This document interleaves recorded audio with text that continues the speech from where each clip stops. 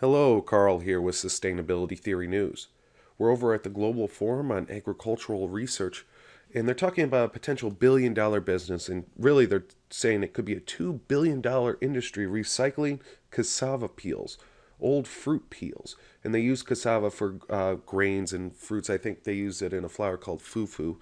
And uh, the waste could be used and recycled into a high quality animal feed and uh, they say it could be a two billion dollar a year industry. And you know, there's most peels are wasted. I just saw a video on Business Insider the other day saying that biz- banana peels have a ton of nutrients in them and that we should eat them. They're talking about baking or boiling them so you, you can actually digest them easier.